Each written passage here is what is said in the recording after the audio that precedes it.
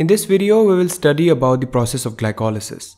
The word glycolysis is made up of two words. The word glyco means glucose and the word lysis means breakdown.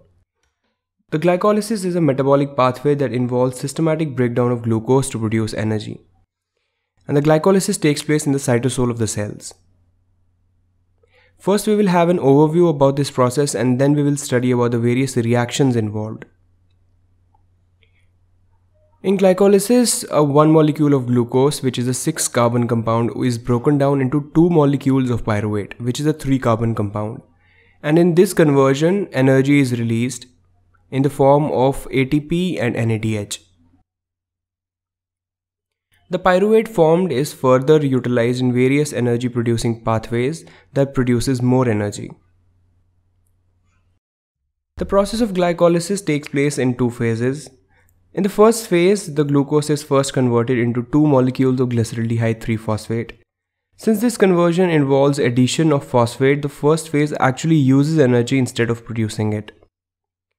In the second phase, the glyceraldehyde 3-phosphate is converted into pyruvate. And it is in the second phase energy is actually produced. Now let's look at the various reactions involved in the glycolysis. So it all begins with a molecule of glucose that enters the cytosol. And the first reaction that takes place is conversion of glucose to glucose 6-phosphate. The enzyme that catalyzes this reaction is called hexokinase.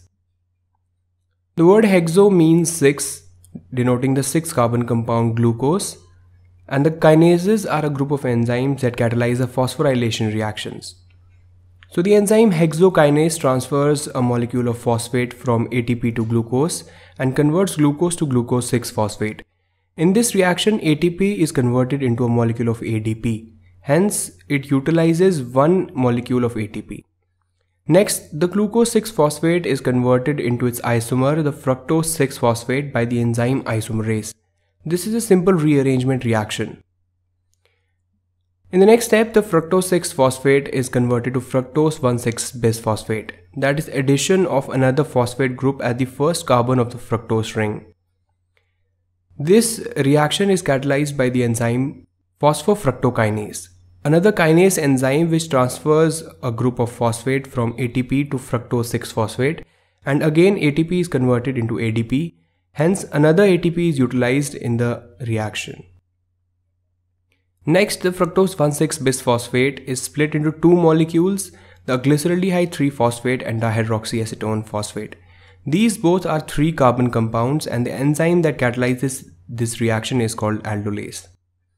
These all reactions compose the first phase of the glycolysis and as you can see energy is actually utilized in this process in the form of two ATPs.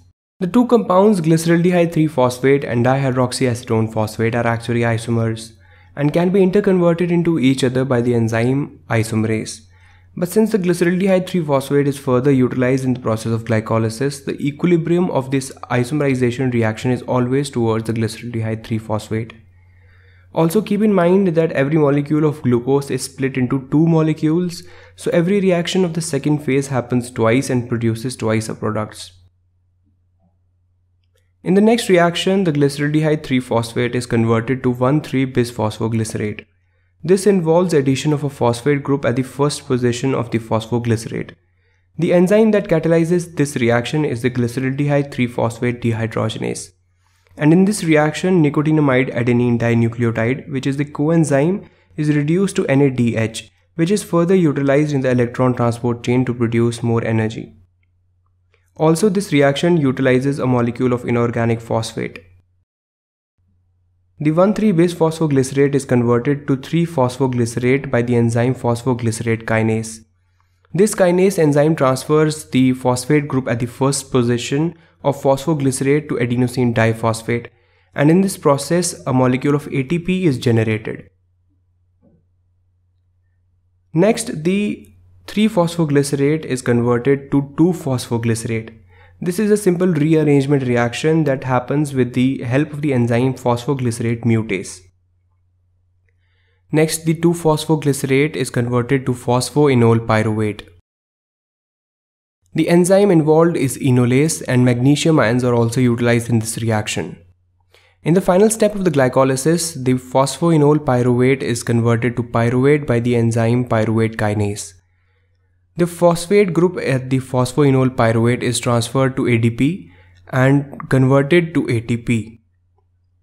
This all composes the second phase of the glycolysis and as you can see energy is produced in the second phase of the glycolysis.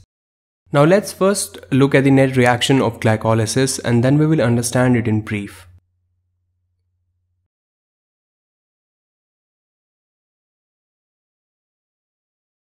We have one molecule of 6 carbon glucose that splits into two molecules of 3 carbon compound pyruvate.